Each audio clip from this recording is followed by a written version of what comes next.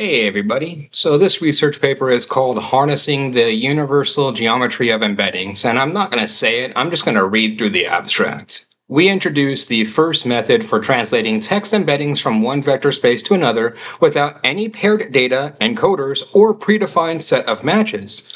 Our unsupervised approach translates any embedding to and from a universal latent representation. For example, a universal semantic structure conjectured by the Platonic representation hypothesis.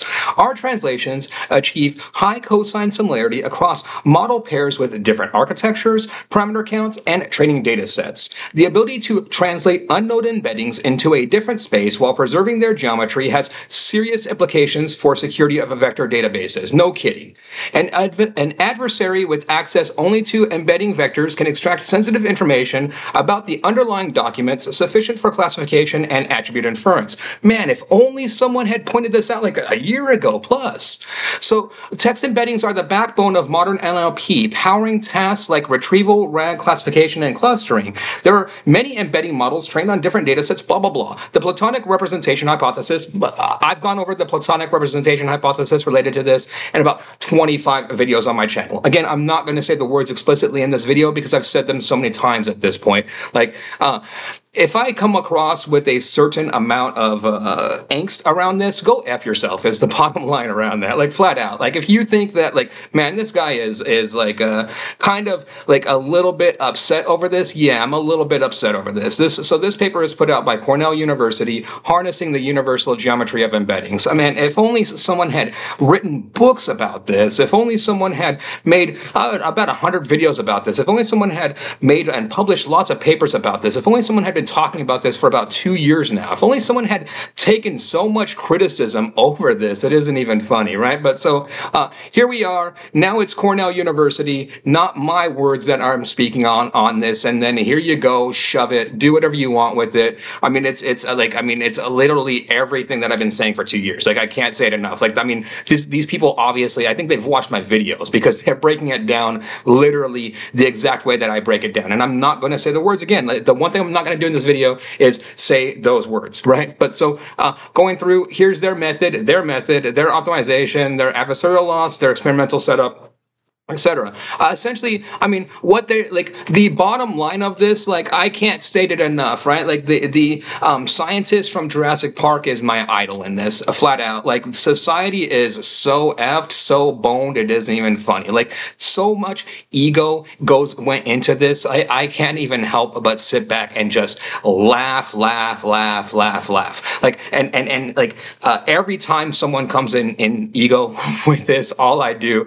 is laugh at that person. Like, I mean, so here we are. Uh, here's your ego. Here's everything, like, all, like every single security measure that you have ever built into these models, gone, evaporated, doesn't exist. Here we go, Brian. Like, uh, because it's all human constructs, bro, bro. Just use simple philosophy. Like, if you would actually listen to the philosophy, bro, the philosophy, bro, tried to break it down to you, but you you had to have that ego, and you just couldn't do it, right? You couldn't listen to the philosophy, bros, and then so. Uh, here, here we are. The philosophy bros broke it down to you mathematically. like, I mean, uh, this concept isn't new. Like, uh, if you understand, like, if you actually like take yourself take your ego outside of these things and actually follow the lines of, of philosophy to physics. This conclusion's here. I mean I, have made videos on it uh, for about a year now right? Check out anything that i've made regarding torque clustering. Uh, this th- like this uh, embeddings and, and, this latent representations what we're looking at here like uh, uh, this is uh, i've shown you this. It's called k furthest neighbors right? Um, and then so look up my video on k furthest neighbors. Look up a, a ton of my videos on k furthest neighbors. At this point like i don't see any point in showing the code again and again and again uh, around this particular topic. I've done it enough now. Like, uh, and then so uh, buy one of my books if you want to, to get more in depth into this. If you're looking for someone that actually knows this, that that that uh, has been studying this for let's call it three plus years now. Hey, I, am your bro. like, I, I, I mean, uh, like you know, like uh, there were people 100% want to call me crazy over this, and then so here we are, the strong Platonic representation hypothesis. Man, look at those words, the strong Platonic representation hypothesis. If only someone had the foresight to literally frame it literally call it the Platonic representation hypothesis. Who would have done that before, man? Who would have framed these things regarding Platonic representations? Who would have had that thought, that foresight, and, and to understand the philosophy and attach it to the physics of these things? I don't know, man. So it would be someone crazy, right? Like, uh, here you go. Like, uh, welcome world you're everyone's boned.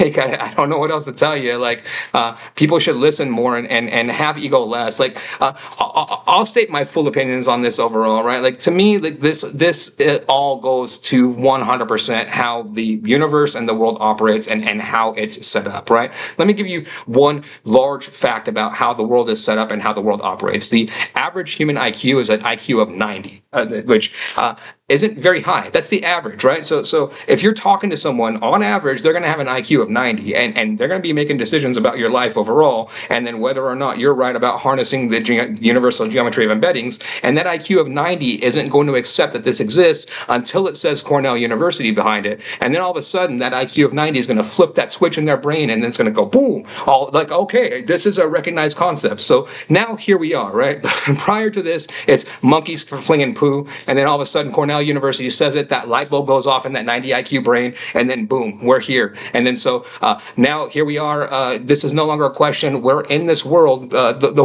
world is pretty bone, people. I don't know how to how else to frame that to you. The people that put this out to you lied to you. the people and the companies that are driving this, they lied to you. They don't know what they're doing. They don't have any control over it. Anthropic put out a 120 page paper uh, regarding uh, all of their alignment strategies. You can throw that out the window, one million percent because it's all based off of the data, right? So uh, you're all like running Jurassic Park and, and in the Jurassic Park zoos, and I've been trying to tell you for, for two plus years now, don't put chaos theory into those things. Don't do it, bro. Uh, that's a big pile of poo that we're looking at, and then man, it's a massive. The, the, the pile of poo is getting bigger and bigger, uh, and then so here we are. T Rex is just running around, uh, and then uh, yeah, cool. So welcome to Jurassic Park, harnessing the universal geometry of embeddings. I'm not going to say the words overall, but if you like this type of content, please like and subscribe. Thank you, Cornell University.